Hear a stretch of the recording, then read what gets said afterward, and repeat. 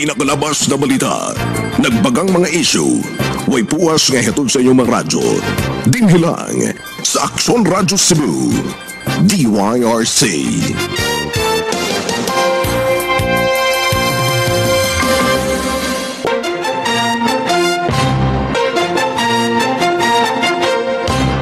Puno sa aksyon og balita. Puno sa impormasyon ng public service. Kini ang Aksyon Radyo Cebu.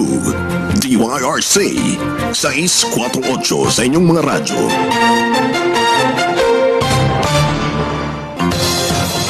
Aksyon Radyo. Aksyon Radyo. May paglipod-ipod sa magyagyag sa kamaturan. Aksyon Radyo.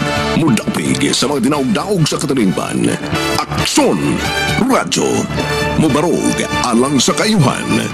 Aksyon Radyo Cebu. DYRC.